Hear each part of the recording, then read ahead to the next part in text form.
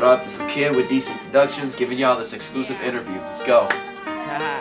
Main event Kidd. On the beat. Let me get him.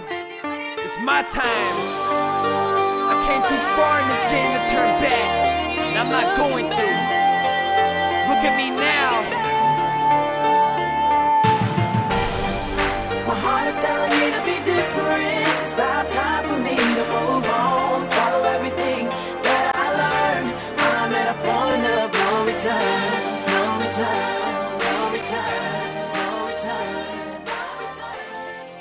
Wow, dude. A lot of my inspiration comes from Eminem. I don't want to sound typical because I'm a white rapper, but you know, Eminem definitely, definitely, definitely, you know, inspired me a lot just for the fact that you know he came up from an area where no one was feeling his music and he changed everybody's mind and he just came up to like one of the greatest rappers today, and that's honestly that's like that's the true American success story, where you have someone that no one feels that everyone feels at the end of the day. Right? So that's definitely an inspiration to me. Um, any of the any of Vinnie Paz and Jedi Mind Tricks and stuff is good too. Uh, those are the more old school underground guys. I think new school would probably be like, I- like I don't know, dude. No one really new school, but definitely Eminem and Army of the Pharaohs, Vinnie Paz. So you're more with old school, right? Yeah, I'm more old school underground. Definitely, definitely more old school underground rap. So Cool. How did you? Um, I mean, it's a long story. I'll try to cut it short. Uh, I started I started the whole music thing back in middle school when we were just freestyling, being stupid kids, and uh, hit high school and I kind of was like, forget that, you know, that ain't me. I'm not gonna do that. And uh, sophomore year came around, I heard people spit, and I was like, man, maybe I should get back into it. Never really came out of it. And then uh, junior year, I was like, you know what?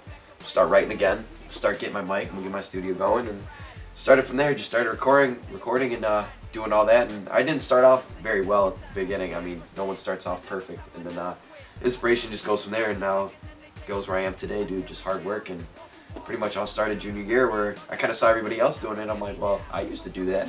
I could be good at it. And I just started writing, picking up a pen, going from there. Pretty much how it started, just all through high school and all that. So that's a hard question, man. And I see myself in the clouds, to be honest with you. I see myself up there, but uh, you know, wherever, dude. I just, I don't want to be, I don't want to be stuck in the same spot in the future. You know, I want to Definitely. go somewhere. It'd be nice to get signed, be a label, but you know, music's always gonna be my life. Music's always gonna be part of my career. I mean, I'm going to school for music.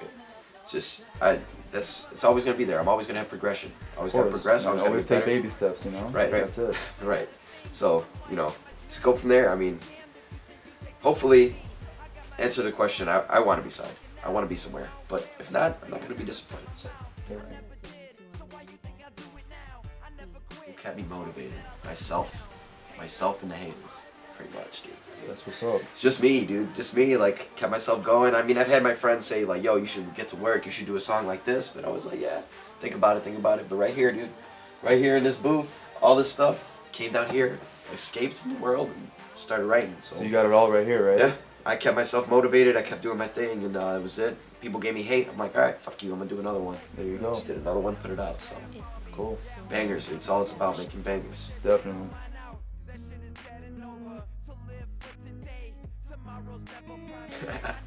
Well, you know, you know. I mean, I've always, I've always been pretty good with females. I mean, I'm not trying to brag.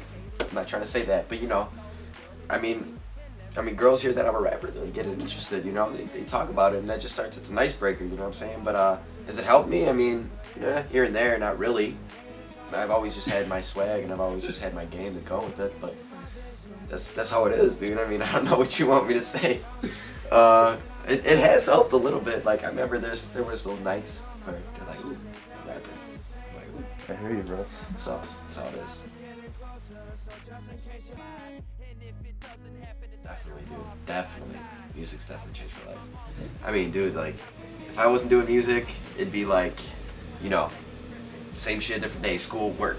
Nah, it's not me. Like, I need, I need to have difference in my life. You know what I'm saying? I want to be unique. I want to be different from everyone else. Definitely. So, I mean, yeah. I mean, music's changed my life a lot, dude. I've been in magazines. I've been, uh, you know, opening up for people, doing a lot of shows. So There you go. it is. I'm about to have my music on the radio soon, so it's gonna be good, dude. It's gonna be good. It's changed my life a lot.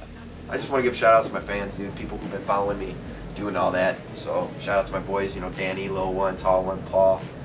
I'll give a shout out to Mark, give a shout out to my boy Patel, any of those guys, man. Those people that followed me and really said like, yo, your music's making a difference, like you know what I'm saying. So any of my fans, any of the people who you know help me out, you know, I, there's a lot to name. Can't name them all, but they're there, and uh, they know they're there. So and the haters, yeah, Haters. yeah, yeah, give a shout out to the haters.